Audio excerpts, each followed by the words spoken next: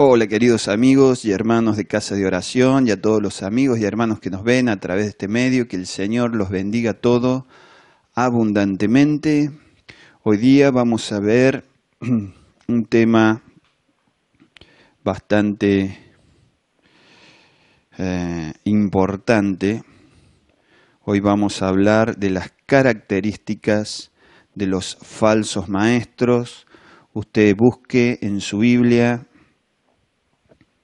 el capítulo 16 de Juan, versículo 12.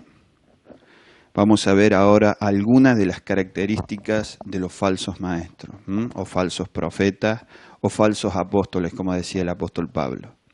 Juan 16, 12 dice, aún tengo muchas cosas que deciros, pero ahora no las podéis sobrellevar. Pero cuando venga el Espíritu de verdad, Él os guiará a toda la verdad, porque no hablará por su propia cuenta, sino que hablará todo lo que oyere y os hará saber las cosas que habrán de venir. Él me glorificará porque tomará de lo mío y os hará saber. Fin de la cita. Este es el Señor Jesucristo hablando. Bien, al comenzar a hablar de las características de los falsos maestros, una de las características principales que tienen los falsos maestros o profetas es negar la obra del Espíritu Santo a lo largo de toda la historia de la Iglesia en cuanto a la formación del canon, es decir, de la Biblia, o en cuanto a la interpretación de la Biblia. Vamos a ver primero lo que suelen decir los falsos maestros acerca de la formación del canon de la Biblia. Es decir, de la, formación, eh, por qué se eligieron cada uno de los libros, etcétera, etcétera. ¿Qué es lo que ellos saben decir eh, de la historia de la Biblia? Una de las principales afirmaciones sobre el canon bíblico o la Biblia es que no es confiable, no es confiable, porque la Iglesia católica lo ha corrompido, porque los siglos que estuvo en la Biblia dentro de la Iglesia católica, en ese tiempo la Iglesia católica se eh, dedicó no por completo, pero lo que hizo fue modificarla. Por lo tanto, no es confiable. Bien, estas afirmaciones podrían haber tenido cierto grado de credibilidad cuando la arqueología no se, habría, no se había desarrollado por completo o como se ha desarrollado hasta los días de hoy, pero no en los tiempos actuales. Hoy en día es posible, no es posible sostener este argumento. ¿Por qué? Una de las pruebas muy sólidas en contra de esta argumentación son los manuscritos o rollos del Mar Muerto encontrados en las cuevas de Qurán en el año 1947, que contiene prácticamente todo el Antiguo Testamento. Esta documentación datan aproximadamente de 250 años antes de Cristo hasta aproximadamente 60, 66 años después de Cristo. En ese periodo de tiempo, la mayoría, la mayoría de estos textos son del 250 aproximadamente antes de Cristo, y en estos tiempos se escribieron estos pergaminos, estos papiros, esta documentación, y fue enterrada o escondida en cavernas y en el año 1947 se las encontró. En estos escritos podemos ver palabras más, palabras menos que el mensaje del Antiguo Testamento se ha mantenido sin corromperse tanto fuera como dentro de la Iglesia Católica. La Iglesia Católica no corrompió el Antiguo Testamento como muchos de ellos afirman. Es mentira, lo conservó como debía ser conservado. Por otro lado, en cuanto al Nuevo Testamento, estos falsos maestros dicen lo mismo, que la Iglesia Católica los ha modificado cuando lo tuvieron posesión ellos de esta documentación. Pero esto es mentira porque nosotros contamos con fragmentos del Nuevo Testamento desde el año 150 después de Cristo. Desde ahí ya tenemos nosotros fragmentos del Nuevo Testamento que confirman que el Nuevo Testamento, como les vuelvo a decir, palabras más, palabras menos, que no cambian el mensaje, no lo cambian, el Nuevo Testamento se ha conservado y el mensaje se ha conservado perfectamente. La Iglesia Católica se empieza a formar aproximadamente en el año 313 y el primer concilio fue festejado o celebrado en el año 325 después de Cristo. Así que eh, nosotros podemos ver, más allá que el, el católico promedio dice, no, no, nosotros iniciamos con Pedro. Bueno, pero la Iglesia Católica se empezó a organizar en el año aproximadamente 313. Eso no es difícil de saber, es solamente buscar en la historia en el año 313 y el primer concilio se celebra en el 325. Entonces nosotros podemos ver que los fragmentos que tenemos mucho antes de ese tiempo, que no son pocos, ¿eh? son muchos, son muchos fragmentos, no pudieron ser corrompidos por la Iglesia Católica. Entonces, cuando uno compara esos fragmentos con lo que dice el Nuevo Testamento de nuestras Biblias, nosotros vemos que el mensaje ha sido muy bien conservado, dentro y fuera de la iglesia. El manuscrito fue muy bien conservado. Una de las iglesias que hacen este tipo de afirmaciones es la iglesia mormona fundada por José Smith en el año 1830 aproximadamente, 1830. Ahora bien, nosotros la pregunta que nosotros debemos hacernos, debemos hacernos, o las personas que creen que el mensaje ha sido corrompido, el mensaje, los manuscritos, tiene que ser la siguiente. ¿Cómo puede ser que un Dios todopoderoso, un Dios todopoderoso, deje un mensaje a la humanidad para que creyendo en este mensaje se salven? Y al mismo tiempo Él no lo conserva. ¿Cómo? ¿Cómo puede ser? O no tiene poder para conservarlo, y una institución como la Iglesia Católica lo venció, o, lo, o no nos ama, una de dos, no lo quiso conservar.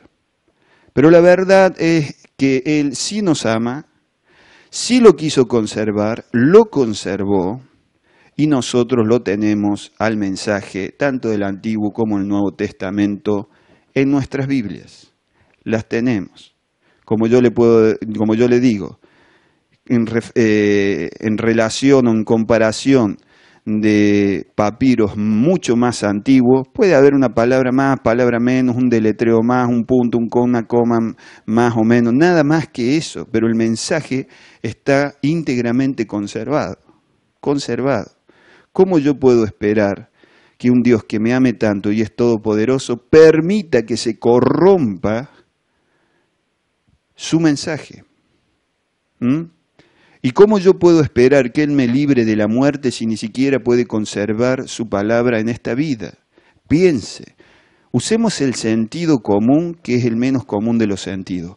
¿Cómo, cómo podría ser que este Dios que nosotros creemos nos haga esto? Porque nos perjudicaría tremendamente.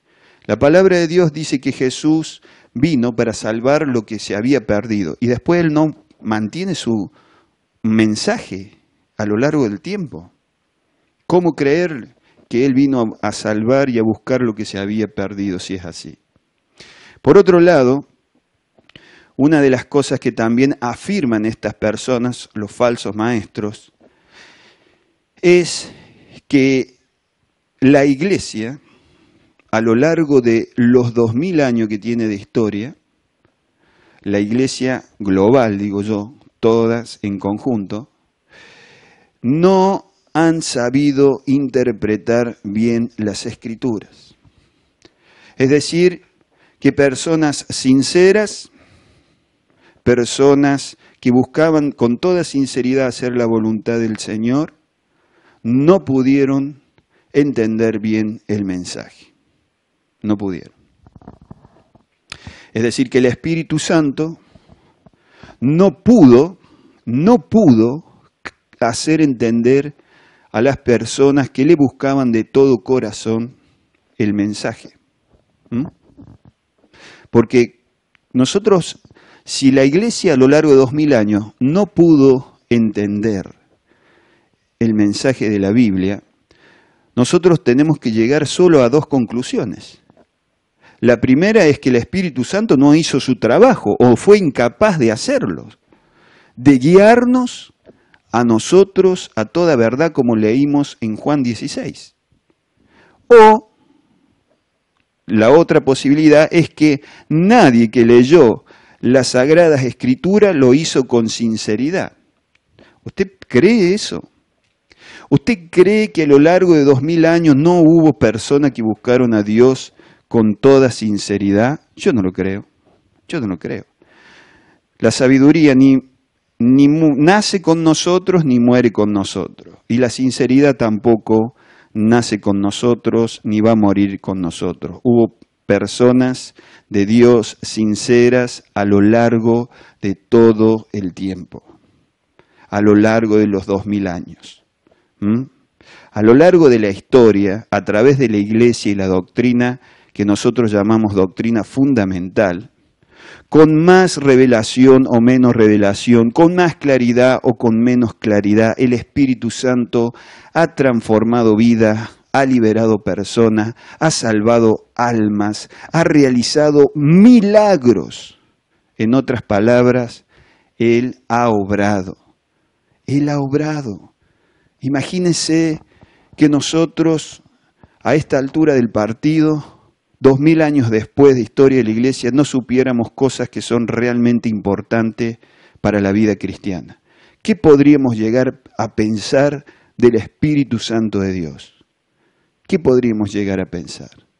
Por favor, cuando nosotros hacemos ese tipo de afirmaciones, también estamos afirmando que el Espíritu Santo no ha cumplido su trabajo. En el año 1830 apareció la iglesia mormona afirmando que el Dios que nosotros creemos no, había sido siempre Dios, sino que antes había sido un ser humano y siguiendo las reglas de las religiones impuestas por su Dios llegó a transformarse en Dios. En el año 1916 aparecieron los testigos de Jehová afirmando que Jesús no era Dios. No, no, era un hombre perfecto, y el Espíritu Santo no, no, no tenía personalidad propia, era solamente una fuerza activa. En el año 1950 aparecieron los predicadores de la prosperidad o del, eh, movimiento Palabra de Fe para decirnos a nosotros que cualquier cristiano sincero no debe sufrir, sino que le debe ir bien, debe prosperar siempre, debe siempre estar sano, debe irle todo, todo bien. En las últimas décadas apareció también el movimiento de raíces hebreas, con muchos de ellos, no todos, de sus miembros, afirmando que lo ideal sería que los cristianos observásemos algunos aspectos de la ley mosaica, como guardar el sábado, dijéramos el nombre de Dios en hebreo, es decir, no podemos decir ni Jesús, ni, no puede, ni Jehová, ni Yahvé, no tenemos que decir Yeshua, tenemos que decir Yahweh, que debíamos celebrar la fiesta judía y hace unos pocos meses atrás, algunos de ellos, no todos, algunos de ellos afirman que tenemos que circuncidarnos en la iglesia. Es decir, que todos los hombres deben estar circuncidados. ¿Usted imagínese que estas cosas fueran importantes. ¿Cómo puede ser que el Espíritu Santo no le haya revelado esta a ninguna persona sincera? ¿Cómo puede ser? Si teníamos que cumplir, o lo ideal era cumplir estos aspectos de la ley, ¿cómo puede ser que después de dos mil años recién el Espíritu Santo nos está enseñando esto? ¿Cómo puede ser? ¿Mm? Me acuerdo que a mi iglesia llegó una persona de estos movimientos de raíces hebreas y una de las cosas que me dijo esta persona, después que terminó la reunión, se acercó con mucha educación, ¿eh? no me lo dijo de mal modo, me dijo, me gustó, dice, el sermón, hizo una buena exposición, me dice, Ah, bueno, le digo yo. Y él me dice, me agrega, lástima dice que usted pronuncie un nombre blasfemo. Yo le digo, ¿blasfemo? Sí, me dice, usted dice Jesús en vez de decir Yeshua. Y Jesús es un nombre blasfemo. Bueno, le digo yo, ¿usted piensa, usted cree que el nombre de Dios es maravilloso? Y él me dice, sí, por supuesto. El nombre de Dios es maravilloso. Yo le digo, bueno, la Biblia dice que en el día de Pentecostés descendió el Espíritu Santo e hizo que las personas que, que estaban ahí en el aposento alto hablaran las maravillas de Dios, incluyendo su nombre, en más de diez idiomas extranjeros que no eran el hebreo le digo, ¿usted piensa que el Espíritu Santo se equivocó? Hizo, llenó a las personas y las hizo blasfemar. Y entonces él se para, se detiene un rato, piensa. Yo estaba hablando con otra persona, le digo, ¿qué sea ahí? Piénselo bien, ya vuelvo con usted. Lo pensó, lo pensó, lo pensó. Y cuando volví con él le dije, ¿y qué respuesta tiene? Y me dijo, la verdad, no sé qué contestarte. ¿Y qué me iba a contestar? Que estaba equivocado que estaba equivocado. El nombre de Dios, el Espíritu Santo, hizo que lo dijeran en el día de Pentecostés, en todos los idiomas que estaban, eh, de la gente que estaba en ese momento en ese lugar. ¿Por qué va a ser blasfemo que yo diga Jesús en vez de Yeshua? No es un nombre blasfemo.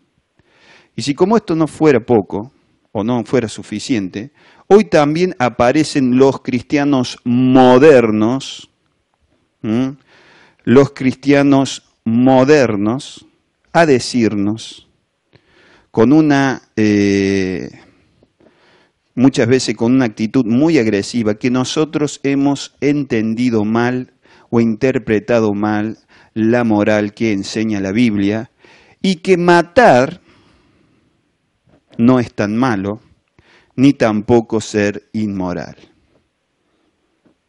Ahora, yo veo esto y mucho más que está pasando dentro de las iglesias y me pregunto a mí mismo si esto fuera verdad, si esto fuera verdad, ¿dónde estuvo el Espíritu Santo todos estos siglos? ¿Dónde estuvo? ¿A dónde, ¿En dónde estaba? ¿Qué estaba haciendo? Si no nos guió a ver o no nos enseñó estas cosas que estas personas ahora en los últimos tiempos afirman que son más tan importantes. ¿eh? ¿Qué estaba haciendo el Espíritu Santo? Pero estas afirmaciones no son verdad. Esto es el cumplimiento de la palabra de Dios que nos enseña que en los postreros días se levantarán muchos falsos maestros, muchos falsos maestros. Segunda de Tesalonicenses, capítulo 2, versículo del 1 al 3 dice, pero con respecto a la venida de nuestro Señor Jesucristo y nuestra reunión con Él, os rogamos, hermano, que no os dejéis mover fácilmente de vuestro modo de pensar, del modo bíblico. Ni os conturbéis, es decir, no se asusten, ni por espíritu, es decir, por alguna revelación especial o experiencia especial, ni por palabra, es decir, por argumentaciones y exposiciones y disertaciones, ni por carta como si fuera nuestra, en el sentido de que el día del Señor está cerca. Nadie os engañe en ninguna manera, porque no vendrá sin antes venga sin que antes venga la apostasía y se manifieste el hombre de pecado, el hijo de perdición. En estos tiempos tenemos que prestar mucha atención, tenemos que tener una buena relación con nuestra Biblia y una buena en el sentido de que debemos leerla a diario, debemos pedir al Señor de corazón a diario que nos permita entender su palabra y que nos dé el poder para ponerla por obra. Segunda de Pedro, capítulo 2, versículo 1, dice lo siguiente. Pero hubo también falsos profetas entre el pueblo, como habrá entre vosotros falsos maestros, que introducirán encubiertamente, no abiertamente, sino encubiertamente, disimuladamente, herejías destructoras, es decir, falsas enseñanzas, y aún negarán al Señor que los rescató atrayendo sobre sí mismo destrucción repentina. Y muchos seguirán sus disoluciones, sus conclusiones, por causa de los cuales el camino de la verdad será blasfemado.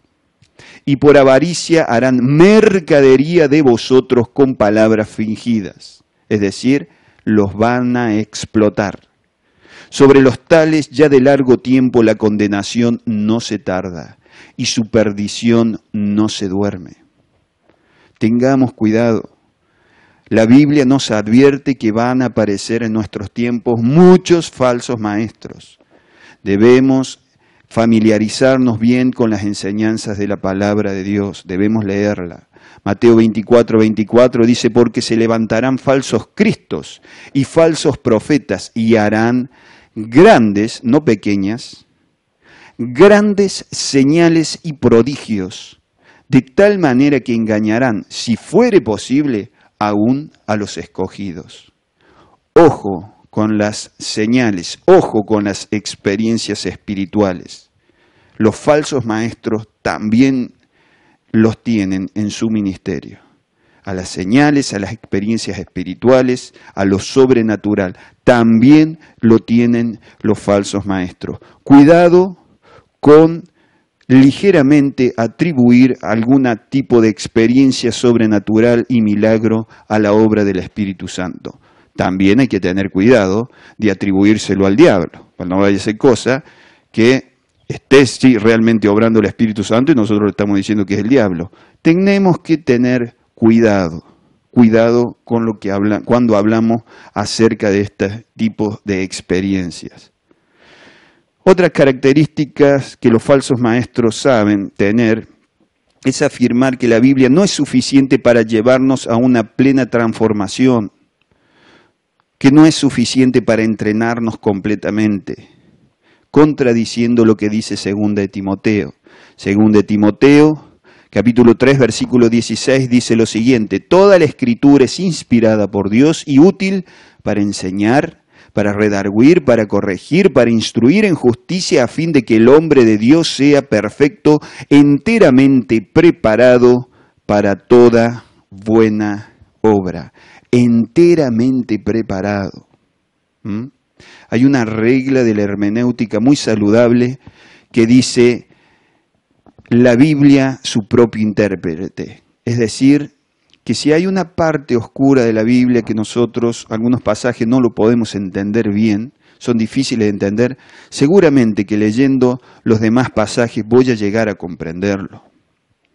Mira hermano, no son malos los maestros eh, que nos traen ejemplos fuera de la palabra de Dios o, que nos enseñen, eh, nos instruyan y nos hagan profundizar en la Biblia, si no, no existirían los pastores. Pero nosotros tenemos que tener una relación personal con la palabra de Dios y buscar las explicaciones a los textos dentro de la misma Biblia. Debemos fundamentar nuestras convicciones o nuestras afirmaciones con la palabra de Dios, la misma Biblia, y no tratar, no buscar interpretar la palabra de Dios en fuentes externas a la misma. En lo posible debemos buscar siempre de eh, entender a la Biblia a la luz de la Biblia, a la luz de su contexto. Esto es importante y muy saludable, porque si no, en la historia se han sacado estos pasajes y se ha querido a, muchos de los pasajes y se han querido darle un significado que no se puede sostener dentro del contexto y así se generaron pretextos para hacer cosas muy malas, muy crueles y muy dañinas. En 2 de Corintios, en el capítulo 11, leemos que el apóstol Pablo tenía problemas ya en ese entonces con falsos apóstoles y describe algunas de sus características que podemos sumar a las que ya mencionamos. Primero, que los falsos maestros que estaban en Corintio eran más elocuentes o mejores oradores que el apóstol Pablo. Eran más elocuentes y mejores oradores. Esto lo podemos ver en el versículo 6 porque le decían a él que era pobre en oratoria, le decían a Pablo, era un hombre tosco. ¿Mm? Yo leo esto y me da una pena, Pablo, porque yo digo, viajar tanto para llegar a esta ciudad, para, para que te digan, después de haberle llevado semejante conocimiento y haber sido encomendado con el Señor, que no tenés una buena oratoria. Pobre apóstol, a mí me da, me da realmente pena del apóstol Pablo en el buen sentido de la palabra, porque él, obviamente, al ser un apóstol ha sido un dichoso, realmente un bienaventurado. Pero él les dice, no era limitado en el conocimiento. Él puede haber sido tosco en palabra, pero tenía un conocimiento muy profundo y lo sabía explicar, no quizás con la elocuencia que lo explicaban los falsos apóstoles y con la distorsión que también ellos hacían, pero lo sabía explicar, aunque él no era un buen orador. En el versículo 4 nos dice que ellos predicaban a otro Jesús, un Jesús distinto, como que hacían énfasis en cosas incorrectas, que tenían otro espíritu, y esto es importante tenerlo en cuenta, porque los falsos ministerios van acompañados de espíritus también. Los falsos ministerios, como recién yo les dije y hemos leído, también tienen manifestaciones espirituales.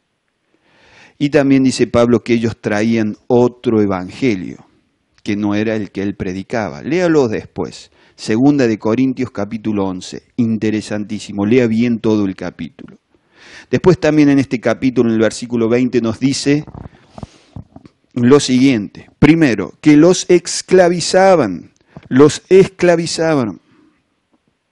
Esto había, habla indudablemente de la esclavitud de la ley mosaica.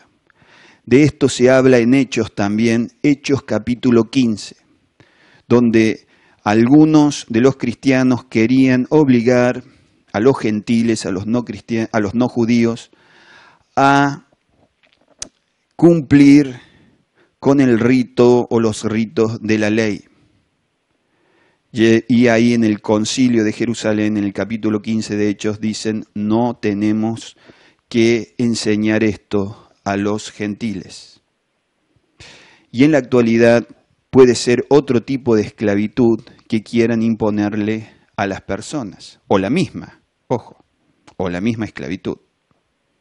Segundo, devoraban a los santos, dice Pablo los devoran, en el sentido que imponían sobre ellos fuertes cargas económicas.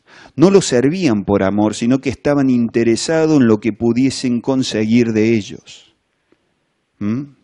La palabra de Dios dice claramente que nosotros todo lo que demos debemos darlo de corazón, no por necesidad, no por obligación, porque Dios ama al dador alegre. Así dice la Escritura. Entonces nosotros debemos dar no por necesidad ni de la iglesia ni la nuestra, ni por obligación, sino con alegría. Y también dice, cada uno dé conforme haya prosperado. Esto está en el Nuevo Testamento. Esta es la forma de dar del nuevo pacto. Si usted no va a dar sin obligación, si usted no va a dar, si usted no va a dar, eh, si usted va a dar porque tiene necesidades, o si usted va a dar no según haya prosperado, sino le va a tirar unas limosnas al Señor, mire, es preferible que no dé, hermano. Es preferible que no dé. Obviamente que nosotros hacemos toda la obra y alquilamos el salón, eh, pagamos la luz, los servicios, todo esto con dinero. Pero el que nos va a proveer en última instancia si quiere que las puertas de nuestra congregación esté abierta es el Señor. Dios no depende de ningún ser humano, de usted tampoco. El Señor es el que va a proveer. Pero ¿cómo lo va a hacer? Como comúnmente lo hace, tocando el corazón de algunos para que den, no por necesidad, no por obligación, sino con alegría. ¿Mm? Esa es la forma que nosotros todo lo que demos al Señor debemos dárselo. Yo una vez estaba en una iglesia y tenía un proyecto en mente y estaba ahorrando plata para ese proyecto. Y había un pastor que estaba pidiendo que nosotros teníamos que dar de forma sacrificial. Y en esta iglesia era común de estar unos 20, media hora escuchando al pastor pidiéndote que des, que des, que des dinero, que des dinero, que des dinero. Yo era chico, había entrado a esta iglesia,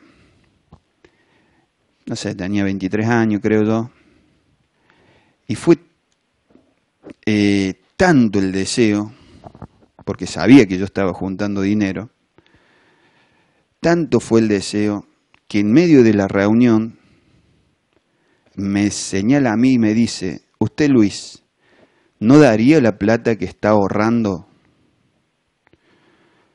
para el Señor? Y a mí con la característica, la culpa que me caracteriza por responder esta clase de preguntas, le dije, no, la verdad que no. ¿Por qué? Porque yo estaba siendo, al menos yo creía en ese momento, realmente guiado por el Señor para ahorrar. En ese momento yo tenía un proyecto en mente, lo quería realizar, y estaba ahorrando. Y vino y me dijo que pusiera el dinero, como yo no me daba por aludido, y él decía, hablaba, hablaba, hablaba, y yo hacía, miraba al del lado decía, ¿no? Y no me daba, no sentía que no me hacía cargo de lo que decía, entonces me lo tuvo que decir sin ningún tipo de discreción. Y yo le dije que no. Le dije que no. Em, nadie te puede presionar así, nadie nos puede presionar así, hermanos, para que demos. No es bueno porque la palabra de Dios manda otra cosa. Manda que des, no por obligación, no por presión. Te está diciendo que des de corazón y con alegría con alegría, de corazón, según hayas prosperado, no por necesidad. ¿Mm? Bien, yo también en esta congregación he visto a personas levantar sobres, porque daban dos o tres sobres por reunión, dos o tres sobres, y después las personas ir en escondida a devolver una parva de sobres que se habían comprometido en ofrendar. En otra, eh, o si no, también ellos lo que hacían es decir, bueno, todos los que no cumplieron con los sobres, usted tiene 10, 15, 20 sobres en su casa, porque los había, 10, 15, 20 sobres, póngalo todo en un sobre y dé una ofrenda para que Dios le perdone todo lo otro que no, no cumplió. Parecía una moratoria santa, un cedulón santo, un plan santo, qué sé yo. Pero no es así tampoco. Nosotros lo que nosotros nos comprometemos a dar al Señor, después lo tenemos que dar. No podemos dar otra cosa. ¿Mm?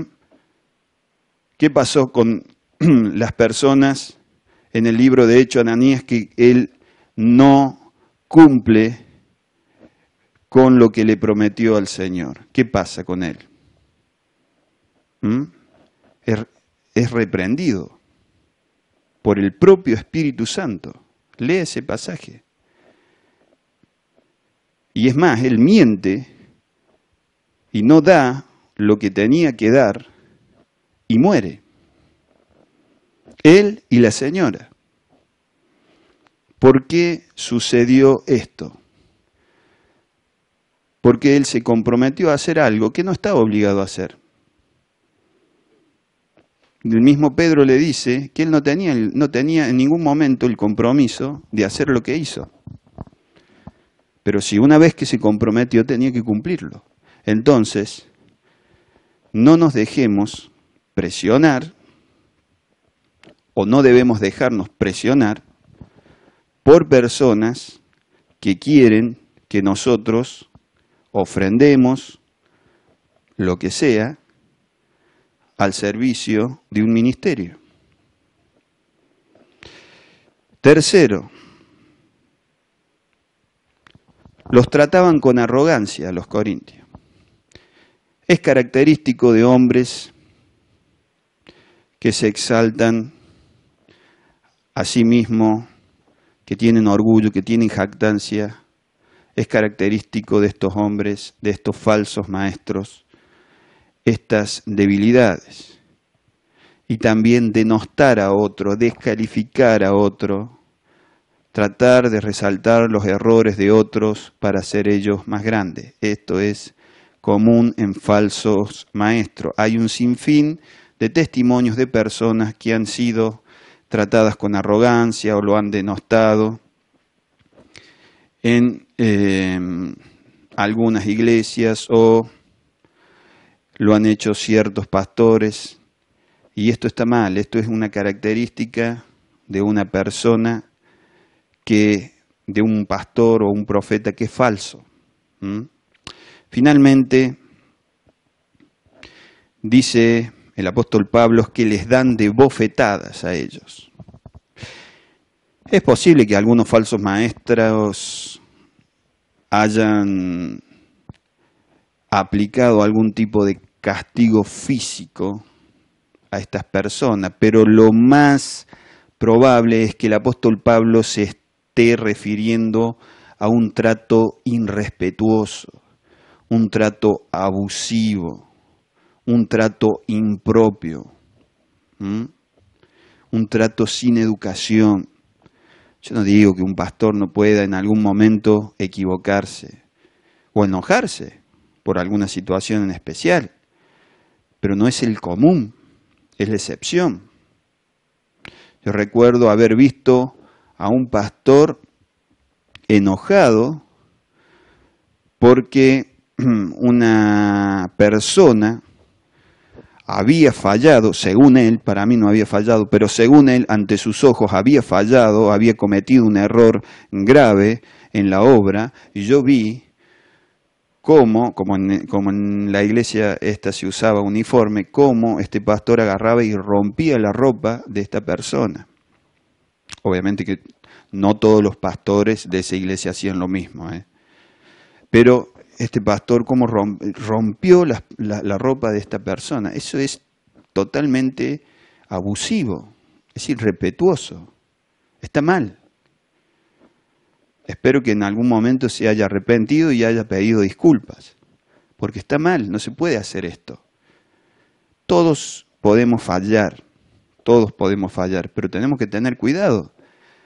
Los ministros, los diáconos, los pastores, los obispos, los que no sé cómo se llame, eh, los líderes de su iglesia, deben ser respetuosos con los miembros de la iglesia. Y si ha hecho la persona algo grave, la Biblia dice que se lo debe disciplinar, si hay que apartarlo del, apartarlo del ministerio, apartarlo, pero no por eso lo vas a insultar o lo vas a humillar. Si hay que poner una disciplina, debe ser con mansedumbre, con templanza. pero no humillando a la persona, hablándola, explicándole y aplicando la disciplina que corresponde a esa falta. Bien, hermanos, vamos a orar y vamos a terminar esta exposición. Padre, te damos gracias, Señor, por todo lo que tú nos das. Te pedimos, Señor, que nos des a todos nosotros, Señor, a todos nosotros, tus hijos en esta tierra, a toda tu iglesia, el discernimiento entre lo bueno y lo malo, en hacer las cosas, Señor, que correspondan, que estén de acuerdo a tu palabra. Líbranos, Señor, de explotar a otros, líbranos, Señor, de maltratar a otras personas, de tratarlas con arrogancia, de humillarlas, Señor. Líbranos de todo esto, Señor, para que así, Señor, nosotros hagamos tu obra conforme a tu voluntad. Es lo que te pido y te agradezco en este momento, en el nombre de Jesucristo. Amén. Si quiere aprender más de la palabra de Dios, visite nuestra página web www.elcaminoverdadero.com, donde podrá utilizar material gratuito, o nuestro canal de YouTube, El Camino Verdadero, o nuestra página de Facebook, Cristianismo Bíblico para Todos. Que Dios le bendiga abundantemente.